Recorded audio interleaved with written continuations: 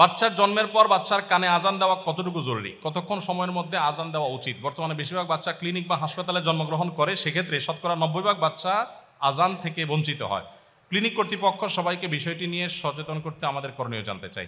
বাচ্চার জন্মের পর তার ডান কানে আজান দেওয়া মানে কানে হাত দিয়ে একেবারে চিৎকার করে মহাজনের মতো আজান দিবেন না।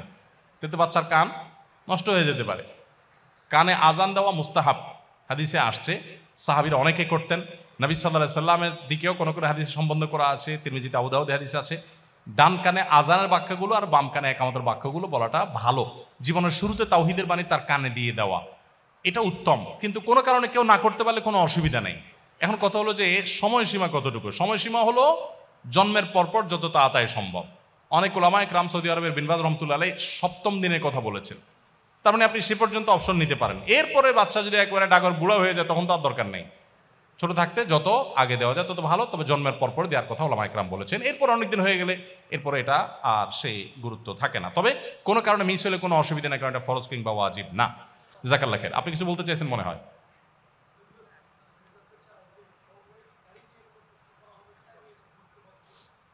আমরা মৌখিক প্রশ্ন যদি আপনাকে সুযোগ দিই, বাকিরা বলবে যে আমরা কি দোষ করেছি। আপনি একই প্রশ্ন লিখে দিতেন, আমি প্রায়োরিটি দিয়ে আপনাকে দিয়ে দিতাম। তো দায় রাখা ওয়াজিব অবশ্যই, মুসলমান দায় রাখার চেষ্টা করা উচিত। কোনো মুসলমান যদি মনে করে যে না, আমার দায় রাখলে আমার কাছে ভালো লাগে না, তাহলে তার হরমোন টেস্ট করা উচিত। সে কি আসলে পুরুষ না মহিলা? কারণ পুরুষ এবং মহিলার মধ্যে একটা মৌলিক পার্থক্য। আল্লাহ তালা এই জিনিসটা পুরুষকে দিছেন, দায়টা পুরুষকে দিছেন। মোষটাও পুরুষকে দিছেন, এই জন্য মোষ ছোট ছোট রাখতে হয়। ছোট ছোট রাখবেন, আর দায় লম্বা রাখবেন রাখবেন। কারণ এটা আপনার মার্কা।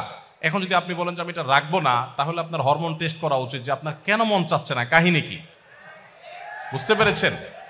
আর যদি কারোর মিসেস বলে যে না, তুমি দায় রেখো না, তোমার দায় দেখতে ভালো লাগে না, তো আমি বলি, অবশ্যই মিসেসকে বলবেন যে তোমার ভালো লাগা না লাগা, এটাই আমার কাছে গুরুত্বপূর্ণ। ডেফিনেটলি আমি দাঁড়িয়ে চেষে ফেলব। তবে আমার কাছে তোমার মাথার চুলগুলো একদম ভালো লাগে না। এরপরে দেখেন স্ত্রী কি বলে। স্ত্রী যদি তখন বলে, না, তোমার ডাক্তার দেখানো উচিত। মেয়েদের মাথার চুল ভালো লাগে না, এটা তো কোনো ভালো লক্ষণ, তোমার মাথায় সমস্যা হয়েছে আমি মহিলা মানুষ কীভাবে আমার চুল চেঁচে ফেলব? এটা হয় কোনোদিন? তো তখন বলবেন, এই কথা তো আমিও বলতে চাইছিলাম যে, পুরুষকে আল্লাহ দাঁড়িয়ে দিয়েছেন, তোমার মুখে তো দাঁড়িয়ে দেন না, এটা তো আমার মার্কা। তোমাকে দেন না, আল্লাহ আমাকে দিয়েছেন। এটা পার্থক্য।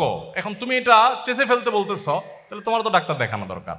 আসো, ডাক্তার দেখা দেখি বাদ দিয়া, তোমারটা তুমি রাখো, আমারটা আমাকে রাখতে দাও। অতএব সৎসাহস দরকার সৎসাহস দরকার। এবং এটা পুরুষত্বের আলামত, এটা স্মার্টনেস এখন শয়তান আপনাকে দেখাচ্ছে যে এটা চেষে ফেলার মধ্যে স্মার্টনেস দাড়ি রাখার মাধ্যমে অনেক অনাচার থেকে বাঁচা যায়, অনেক গুনাহ থেকে বাঁচা যায়। যেটা দায় না থাকলে সম্ভব হয় না। দায় রেখে আপনি সিনেমা হলে ঢুকতে পারবেন না, পারবেন? যে সিনেমা হলে ঢুকছে, সেও বলবে যে, হুজুর, এটা কাম করলেন? সেও খোঁচা মারবে। তো এই জন্য যে জিনিসগুলো আপনাকে অন্যায় থেকে বিরত রাখে, ওগুলো আরও বেশি করা উচিত। আল্লাহ তালা আমাদেরকে তৌফিক দান করুক।